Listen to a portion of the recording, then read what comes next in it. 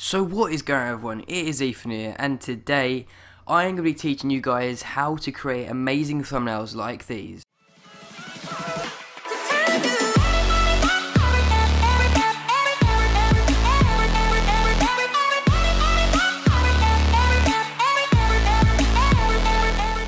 So welcome everyone to today's video, hope you guys are doing okay. And in today's video, I'm as I said, I'm going to be teaching you guys how to create amazing thumbnails like these. Now, this thumbnail isn't the best, I have to say, but it is great quality for your your channel pretty much and to make it look so much better I, I 100% say that your channel will look so much better and it will help you grow your channel so much if you use thumbnails like these and if you follow the rules or follow the rules follow the steps pretty much of this tutorial so basically as I said this thumbnail um, it stands out, it looks good, and I'm going to be teaching you guys how to make a thumbnail like this. I'm going to go through all the steps slowly, um, well not well, not really slow, but so you guys understand pretty much uh, what is going on. So the first thing I'm going to be doing is going over to File and then clicking on New. Let it let wait for it to load up, and then go on to Name and then just type in anything. Click on test, just, I don't know, name it anything. Next, just copy everything on the screen right now. Make sure it's 1280 by 720, that's really, really important. And then make sure it's 20, make sure it's transparent.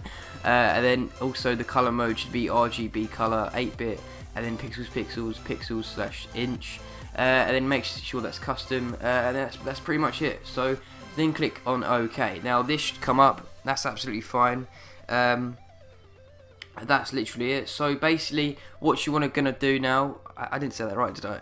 What you're wanna gonna do? No, I don't. Anyway, um, so now you are gonna be clicking onto file, clicking onto place, and then going on to any background that's good. So I'm just gonna click on this one, light blue. This is an absolutely amazing one because it's just exactly like that. That's the same um, as what I just clicked on but it's gone so I'm to have to click back on it.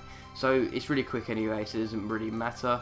So I'm to click on the check mark up here just to make sure it saves onto here. So now I really like this background I have to say guys. But um, yeah anyway now what you should do now is just click on back on file and then click on place. This is just going to make the, the background look so much better. And you're going to try and get this on Google. Just search up blue and white radius um, and then it will come up. Just save it. It should look like this. Um, and it, it is seriously, I recommend this so much because it's it makes the thumbnail stand out so much more. So this is really really key to making your thumbnails really good. And as I, as you can see, what I just did, just click on that and then click on overlay. And then what you what you should do now is go on to opacity and then make it around 50. That's absolutely fine. You can make it less, but it's less visible, obviously and you can make it more but it's more. So I'm to make it around 50 that's absolutely fine.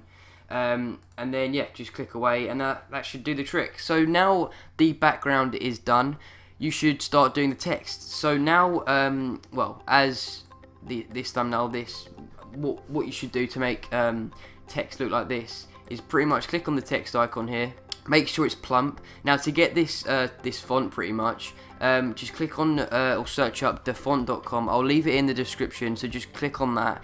Uh, it's a brilliant website that, that has loads and loads of different fonts and um, it's really really good. So make sure you, download some fonts that I have. I have Plump which is really really good. I also have um, I also have Komika Axis. I missed that one. I also have Alblix Pro. There it is and I also have Aldo the Apache. I hardly use that though. I mainly use Komika Axis, uh, Molot. Where is that? There it is. Uh, no, I missed it. There it is, Molot. I always use that as well. Um, I just use Obli Oblix Molot a lot. So Plump, Plump is amazing as well, I have to say. But uh, just click on the screen and then this should come up. Now, what you should do is just click on, or just type in whatever you want your thumbnail to be. So, for instance, I'm going to just type in thumbnail and then this should come up. Click on the check mark there, click here and then drag it onto the screen. So just just make sure it's in a good sort of area. I'm gonna think, yeah, yeah that looks good. Okay, so now the text is done, you want to make it look much better. So make it look like this for instance. Um, obviously that looks so much better than that.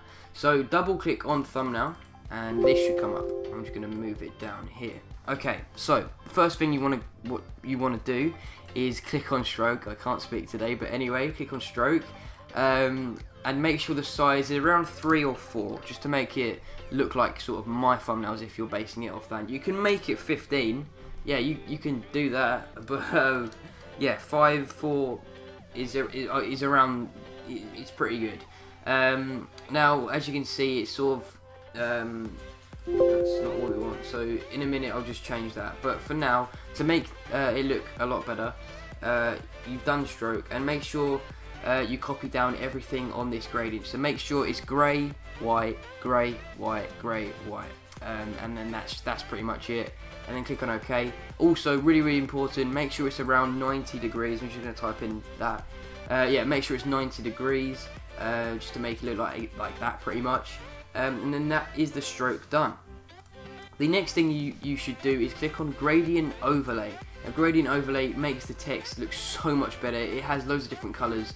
Now Photoshop gives you um, some some presets pretty much. Now I don't like them. I have to say they are pretty bad. The only ones that are useful are the, this grey and white one here, this red one, this blue one, and this rainbow one. So now the gradient overlay is the important thing and um, yeah basically the gradient overlay is really really important to make the text look so much better.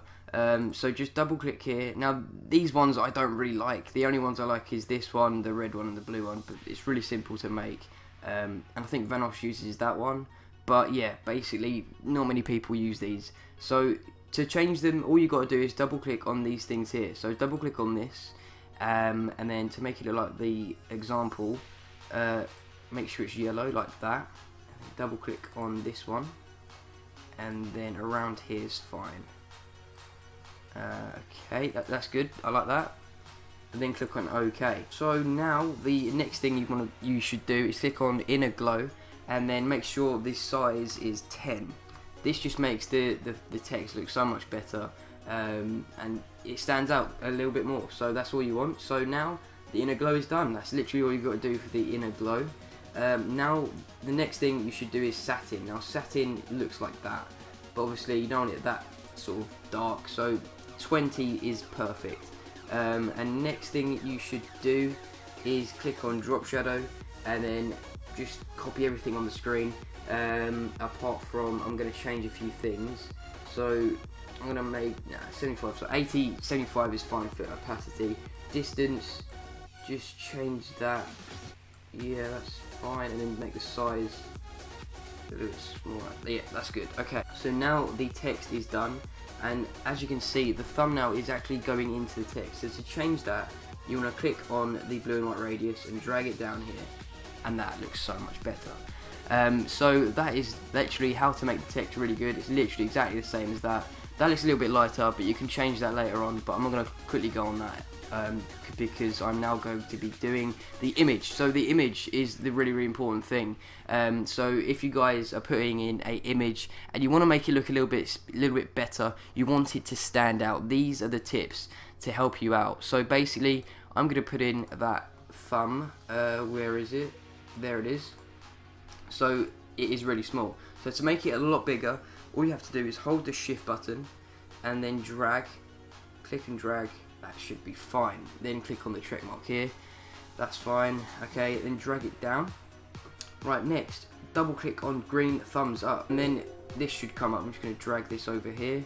Actually, gonna, yeah, that's fine. Okay, then click on stroke um, and then make it a little bit smaller because it's an image. So make sure it's about two. Uh, and then inner glow, that looks fine. Make sure it's around 10 again. Uh, and then gradient overlay. You, oh no, we don't gradient overlay actually, unless you want to change the colour of the thumb. So that's that's actually quite nice. And if you want it to be golden, there's your answer. If you want it to look a better green, maybe. Um, I'm gonna make that look a better green actually. Yeah, that looks good. Okay, so yeah, gradient overlay, you can use that. Um, and then satin, that's a really, really important thing. Five, there we go. Okay, Uh, I like my things exact, guys. Um, okay, so the next thing is drop shadow, the most important thing, in my opinion, to make it stand out. Um, and then distance should be that. Size should be around 20. And then size around the 60 mark. So that looks fine. Um, and then to make it uh, rotated like that, all you have to do is, is press the control button and the T button at the same time, and then this should come up. Then hover around here, um, and then just drag it down. That looks fine. Okay, so that looks a little bit too far rotated, so I'm going to change it again. I'm going to hold Control and T. drag it. Yeah, that looks fine. Okay. Um, so yeah, if you want it to look a little bit bigger, if you just want to change your mind, it's so simple. Just hold Control T again, and then just make it bigger. You can still make it bigger. Don't worry, guys. Um, that, that looks fine. Then click the, the tick, and then drag it into position. And then that's literally it. It looks exactly like that, doesn't it, guys? So, um, yeah, that's basically the video. So, hope you guys enjoyed today's video. One thing I have to say is that if you guys um, did sort of follow the tips and you've made a thumbnail like this or for your own then just send me a picture on Twitter and I'll retweet it and I'll that'll just make my day. Um, yeah I mean, that'll make my day seem so much better because that that just shows that you followed the rules and you've made a thumbnail really really good. So hope you guys enjoyed this video. If you did make sure to leave a like and also if this did help you out and you and you do think that this has improved your thumbnails, then just hit the like button down below. That'll, that'll be that'll be amazing. And um, also subscribe if you are new. But there, that is gonna wrap up today's video, guys. Please like, subscribe, and peace.